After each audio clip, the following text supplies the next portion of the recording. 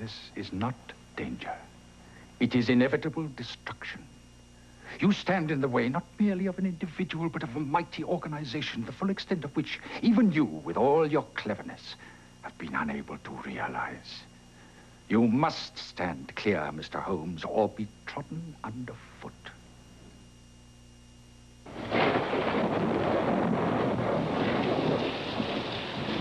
Mystery is made possible by a grant from Mobil Corporation.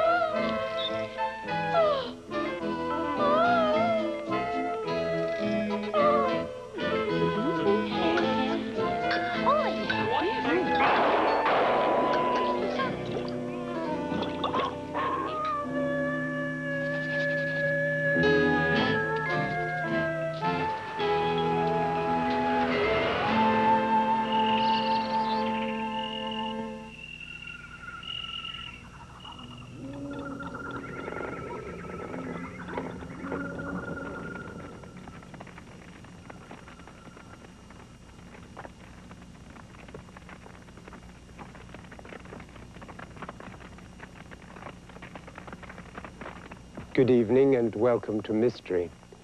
For the last of our series of the adventures of Sherlock Holmes, I'm Vincent Price. Last week, we met Holmes's arch rival, Professor Moriarty, whom Holmes called the Napoleon of crime. Moriarty had been a professor of mathematics at a small English university, but dark rumors began to circulate about him, which caused him to resign his position. He moved to London and very quickly became the leader of organized English crime and the most vicious and skillful of Holmes's opponents.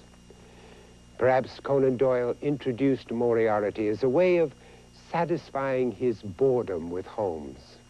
For after 23 stories, the author had become very tired of his fictional hero. He said, I fear that Mr. Sherlock Holmes may become like one of those tenors who, having outlived their time, are still tempted to make repeated farewell bows to their indulgent audiences. This must cease. Professor Moriarty shared those views, as we'll see tonight in The Final Problem.